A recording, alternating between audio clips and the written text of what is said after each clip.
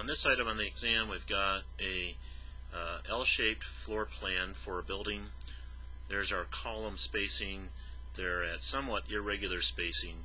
Uh, we have the beams that then frame between the columns and then the individual floor joists and we're told that these other little short lines are stability bracing and not to be considered to be a beam. And so that helps us to then deal with what we're asked to do and that's we're supposed to look at this one beam that spans between the columns and come up with an appropriate uh, structural model which means we have three components the load, the structure, and the supports of that beam. Now the structure itself at this stage in our uh, modeling is just a single line to represent the, the beam. We'll talk about EI and all those kinds of things at another uh, point in time. This is really just about the supports. We're told it's the beam is pin connected so a simply supported beam makes a lot of sense. And then we just got to look to see what frames into this particular beam.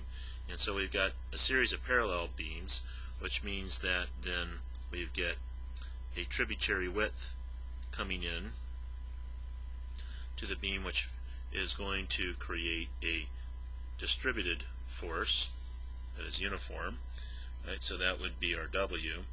And then we've got um, a couple of girders that frame in and the reactions of those are going to then create symmetrically placed point loads.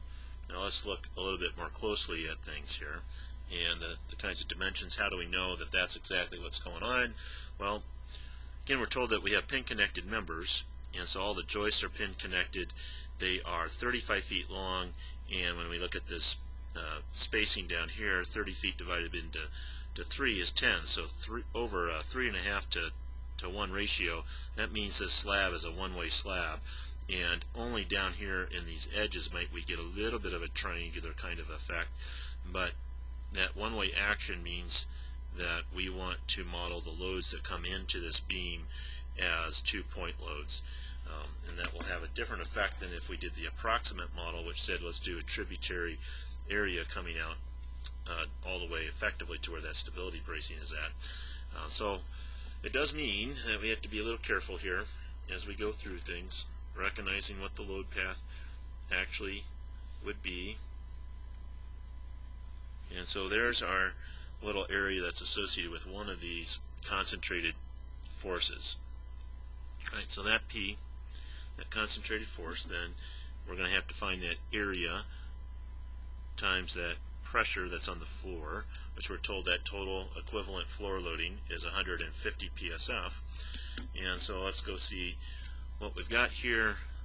One dimension is 35 feet divided by 2. The other, let's see, this was 5 feet over one way, 5 feet the other, so that's going to be um, 10 feet. And then we'll multiply that by the 150 pounds per square foot and that should equal 26,250 pounds or 26.25 kips. We'll have two of those because we have then two reactions that are identical coming in. Again, we've assumed here that joists are evenly spaced at least within that bay. Right, so the last one then is to go get the W. That W then will come from our tributary width times this pressure that's on the floor and our tributary width is well three spaces that's 26 feet divided by 3 but we only have one half of that space and then times 150 psf and that should turn out to be 650 pounds per foot. So quite a bit smaller effect as compared to the concentrated uh, force. And there's a fairly reasonable model of our beam. We've got the load we've got the structure we've got the supports um, if you had really wanted to try to model the little two-way slab action that comes in here, we would have had, in addition to the concentrated force, we would have had to put a little triangular load on either uh, side, but that's going to be pretty minor compared to the primary load, particularly uh, the reaction from the girders.